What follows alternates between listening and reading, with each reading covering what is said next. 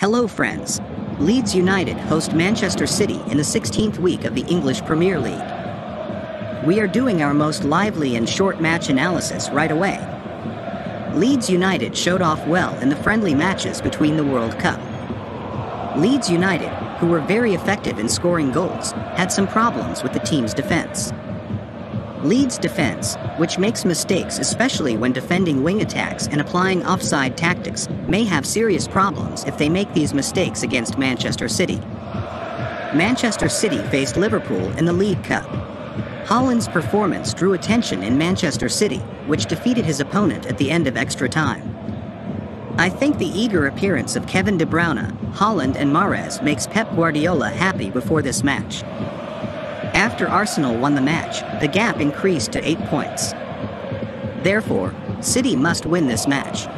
My opinion on the match, I guess Manchester City will take advantage of their opponent's defense problems and take a comfortable win. What do you think about this match? If you subscribe to our channel,